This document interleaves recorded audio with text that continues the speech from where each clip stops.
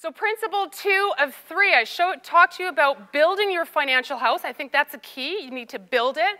That can be difficult to do. What I want to convince you of is not burning it down, which sounds really axiomatic. It's like, why would we want to burn it down? It happens really quickly, and I'm using this as a metaphor for credit. Because in today's society, if we want stuff, if you know, we want to have a house before we're 50, we need credit. So some little mistakes that we can make can burn it down really, really quickly. Now, I talked to you about this, and it's one of my principles because those that have poor credit in today's society, I really believe, are the new pariah. They're the outcast. You can't even buy a sandwich or a drink on, on a flight if you don't have a major credit card.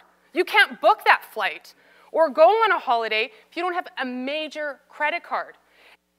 Do not discount the little things that you do. Do not discount if you only have $25 a month to put away or to pay down on your debt. That's the little things that build that solid financial foundation that I was talking to you about before about why lottery winners don't keep their money. Now, I know what a lot of you are saying. I don't have any money at the end of the month. Honestly, Kelley, I don't. I hear people tell me this all the time. You don't understand what it's like in my household. We're barely making ends meet. And that's what these guys said too. Elton John and Nicolas Cage.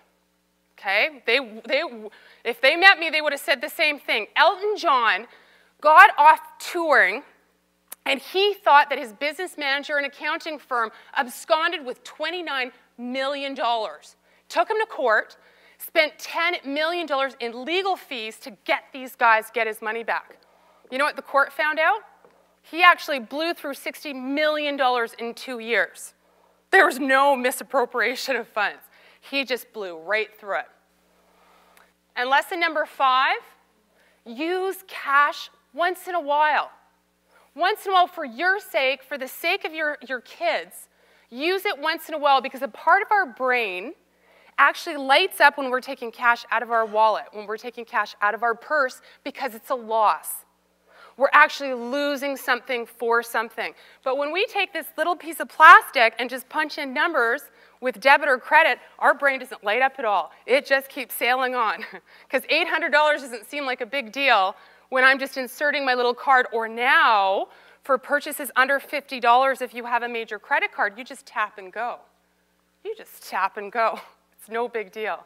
But when you're using cash and you have $100 in your wallet and you see how quickly that leaves it, it makes it more real. So once in a while, use some cash.